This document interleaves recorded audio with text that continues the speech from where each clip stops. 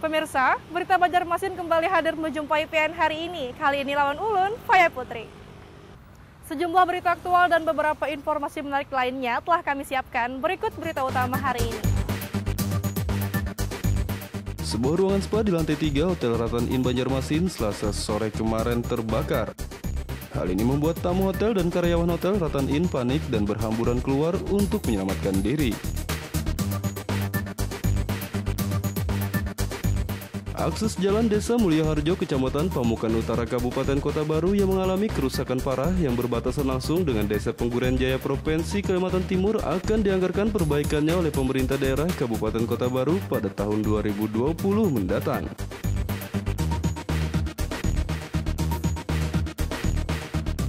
Dinas Perhubungan Kota Banjarmasin melakukan uji coba jalan satu arah yang diberlakukan di dua ruas jalan yakni Jalan Pertendean dan juga Jalan Jenderal Sudirman Banjarmasin Tengah. Pemberlakuan jalan satu arah ini untuk mengatasi kemacetan yang kerap terjadi di jalan tersebut.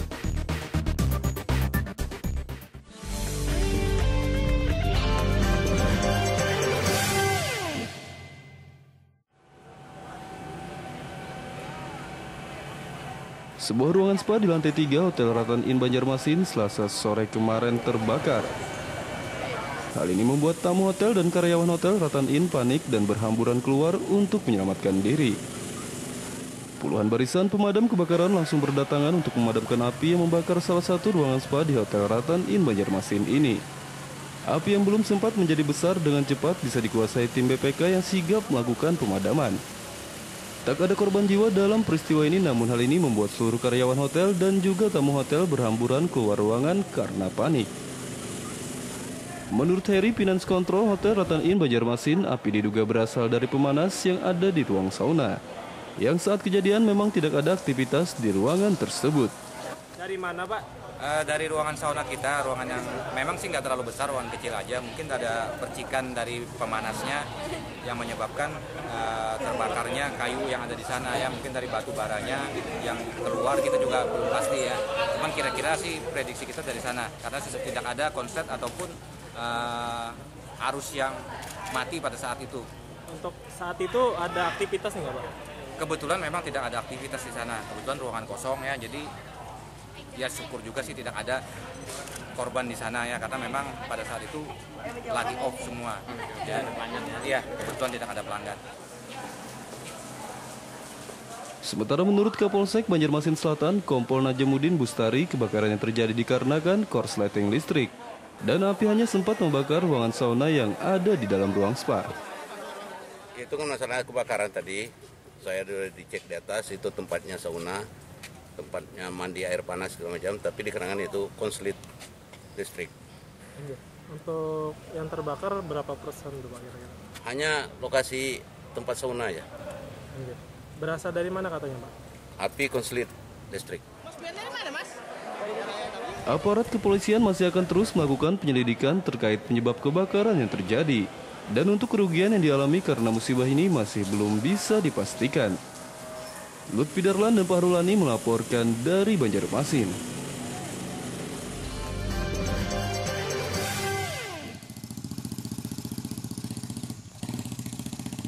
Akses jalan Desa Mulia Harjo, Kecamatan Pamukan Utara, Kabupaten Kota Baru yang mengalami kerusakan parah yang berbatasan langsung dengan Desa Penggurian Jaya Provinsi Kalimantan Timur akan dianggarkan perbaikannya oleh pemerintah daerah Kabupaten Kota Baru pada tahun 2020 mendatang. Setelah 32 tahun lamanya akses jalan desa yang berada di perbatasan antara Kabupaten Kota Baru Provinsi Kalimantan Selatan dan Kabupaten Pasar Provinsi Kalimantan Timur akhirnya mendapatkan kepastian karena direncanakan akan dianggarkan pada tahun 2020 mendatang. Kepala Dinas Bina Marga dan Sumber Daya Air Kabupaten Kota Baru Joni Anwar mengatakan bahwa sebagaimana arahan dari Bupati Kota Baru Haji Said Japar yang beberapa saat lalu sudah berkunjung ke sana dan menyerap aspirasi masyarakat Desa Mulia Harjo, maka direncanakan perbaikan akan dilaksanakan pada tahun 2020 Desa mendatang. Mulyo Harjo, Kecamatan Pamukan Utara, rencana perbaikan jalan atau peningkatan jalan yang ada di Desa Mulyo Harjo itu akan kita anggarkan pada tahun anggaran 2020 yang akan datang. Tim akan turun ke sana melihat secara langsung sekaligus mengukur berapa jauh jalan yang akan kita lakukan perbaikan untuk tahun anggaran di 2020 yang akan datang. Dengan rencana perbaikan jalan yang akan dilakukan pada tahun 2020 mendatang, masyarakat Desa Mulia Harjo tentunya sangat bersyukur. Karena penantian untuk jalan yang bagus selama puluhan tahun akhirnya akan terwujud. Lutfi Darlan dan Poji Rahman melaporkan dari Kota Baru.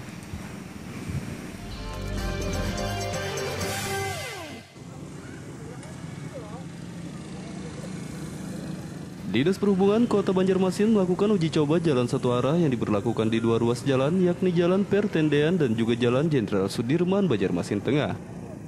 Pemberlakuan jalan satu arah ini untuk mengatasi kemacetan yang kerap terjadi di jalan tersebut. Sedikitnya 30 personil dari Dishub Kota Banjarmasin diturunkan untuk menjaga lalu lintas dari dua ruas jalan yang diuji coba pemberlakuan satu arah. Sehingga pengendara yang melintas di jalan tersebut tidak akan ada yang melanggar aturan pemberlakuan uji coba jalan satu arah ini. Menurut Kasih Manajemen dan Rekayasa Lalu Lintas Dinas Perhubungan Kota Banjarmasin, Febri Graha Utama mengatakan, uji coba pemberlakuan jalan satu arah di dua ruas jalan ini dikarenakan siring di Jalan Pertendean Banjarmasin merupakan kawasan wisata yang kerap dipadati pengunjung yang bahkan tidak hanya pada akhir pekan. Dan hal ini tentunya membuat kemacetan yang sering terjadi di dua ruas jalan tersebut. Kenapa kita jadikan sistem satu arah? Karena kawasan Siring Tendian sudah menjadi kawasan pariwisata. Di eventnya tidak hanya Jumat Sabtu Minggu, tapi hampir setiap hari dijadikan event atau tempat wisata bagi wisatawan dari luar Banyumasin. Rencana akan kita mulai tanggal 1 Maret 2019. Pelaksanaan uji coba jalan satu arah ini akan berlangsung selama tiga hari. Selanjutnya, untuk efektif pemberlakuan jalan satu arah, rencananya akan dimulai dari 1 Maret 2019 mendatang. Lutfi Darlan dan Pudail melaporkan dari Banjarmasin.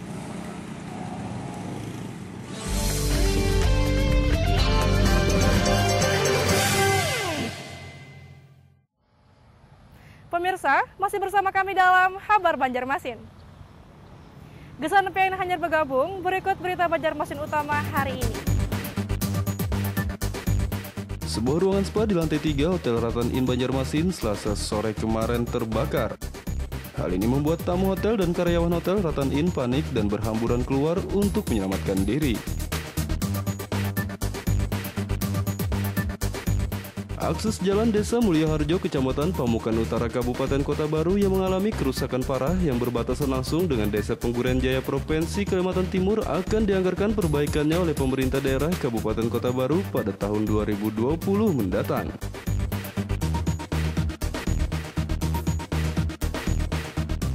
Dinas Perhubungan Kota Banjarmasin melakukan uji coba jalan satu arah yang diberlakukan di dua ruas jalan yakni Jalan Pertendean dan juga Jalan Jenderal Sudirman Banjarmasin Tengah.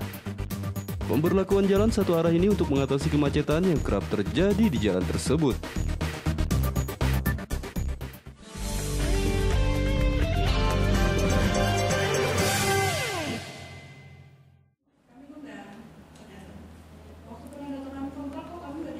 Kepala Kejaksaan Negeri Banjarbaru tepis adanya isu yang menyatakan kontraktor berlindung di bawah tim pengawal dan pengaman pemerintah dan pembangunan atau TP4 Kejaksaan Republik Indonesia. Terbentuknya tim pengawal dan pengaman pemerintahan dan pembangunan atau TP4 Kejaksaan RI berawal dari instruksi Presiden Joko Widodo nomor 7 tahun 2015 tentang aksi pencegahan dan pemberantasan korupsi yang diterbitkan pada 6 Mei 2015 lalu. Presiden melihat bahwa pemberantasan korupsi yang dilakukan selama ini oleh aparat penegak hukum justru berimbas pada kelambanan pembangunan. Banyak pejabat yang enggan menjadi pimpinan proyek karena resiko terus-menerus dipanggil untuk diperiksa oleh penegak hukum mulai dari KPK, Kejaksaan Agung, Kejati, Kejari, Mabes Polri, Polda hingga Polres. Sehingga Kejaksaan Negeri atau Kejari didaulat sebagai pengarah dan pengendali. Kejarilah yang menugaskan personil jaksa di bawahnya untuk terlibat di dalam TP4D di wilayah masing-masing. Namun seiring dengan adanya pengawalan TP4D tersebut berkembang isu para pekerja pembangunan berlindung di bawah pengawalan tersebut. Menanggapi hal tersebut, Kepala Kejaksaan Negeri Banjarbaru Silvia Desti usai rapat evaluasi TP4D menepis hal tersebut. Menurutnya dengan adanya TP4D ini justru tujuannya pengawalan untuk pengerjaan dari awal hingga akhir dan untuk mencegah korupsi. Namanya TP4D itu tujuannya itu kan pengawalan. Berarti kita kawal, pengawalan, kita kawal, kita amankan. Maksudnya amankan itu tadi itu. Kita dalam apa namanya? eh, pendampingan kita dari awal sampai akhir harusnya benar. Tapi kembali lagi mereka mereka minta kepada kita itu kan adalah permohonan pengawalan. Data yang disajikan itu dari mereka, baru kita ikut cek di lapangan harus sesuai. Harusnya itu bukan apa TP4D bukan jadi tempat perlindungan bagi kontraktor-kontraktor. Malah seharusnya didampingi TP4D itu mereka harus lebih hati-hati karena kita bisa lihat langsung Selain itu, Silvia Desti juga menambahkan pihaknya mengevaluasi hasil dari pendampingan tahun 2018 dari 7 instansi dan 31 kegiatan sebagai bentuk pengawasan kerja tim TP4D. Dan untuk tahun ke depan akan lebih selektif dalam pendampingan proyek yang bersifat strategis dan bersentuhan langsung dengan masyarakat. Lutfi Darlan dan Pahmi melaporkan dari Banjarbaru.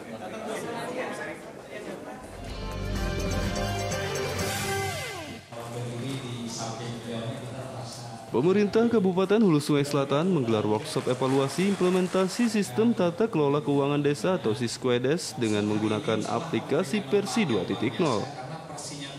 Dengan workshop evaluasi implementasi Siskuedes ini diharapkan pengelolaan keuangan desa di Kabupaten Hulu Sungai Selatan bisa lebih baik lagi dan sesuai harapan. Workshop digelar di Pendopo Kabupaten Hulu Sungai Selatan dan dibuka oleh Bupati Hulu Sungai Selatan Ahmad Fikri pada Selasa kemarin. Workshop ini diikuti sebanyak 148 kepala desa Kabupaten Hulu Sungai Selatan. Dalam workshop ini juga menghadirkan narasumber dari anggota Komisi 11 DPR RI Saiful Rasid, Kepala Sub Auditorat BPK RI Perwakilan Kalsel Suherman, di Treskrim Polda Kalsel M. Ukhdori dan Kepala Perwakilan BPKP Provinsi Kalsel Selamat Simanurung. Dalam workshop tersebut, para narasumber menekankan dalam penyusunan rancangan pembangunan agar disusun sebaik mungkin dan dapat menampung kebutuhan masyarakat semaksimal mungkin sehingga tidak ada keluhan masyarakat. Selain itu, penyusunan rancangan pembangunan dilakukan dengan cara transparan yang melibatkan rukun tetangga atau RT sehingga dipastikan dapat mengakomodir keinginan masyarakat dalam mewujudkan kesejahteraan dan kemandirian desa. Kesejahteraan masyarakat tidak terlepas dari pengolahan anggaran. Salah satunya hari ini workshop pengolahan anggaran desa yang selama ini desa terus mendapat pendampingan dari BPKP dengan sistem keuangan desanya. Ada ada sistemnya sekarang. Hari ini workshopnya ada evaluasi sejauh mana sistem itu sudah dilaksanakan oleh kawan-kawan desa. Nah, kalau dana itu dikelola dengan baik, efisiensi bisa dilaksanakan, pemborosan bisa ditekan, berarti dana itu bisa dirasakan manfaatnya oleh masyarakat.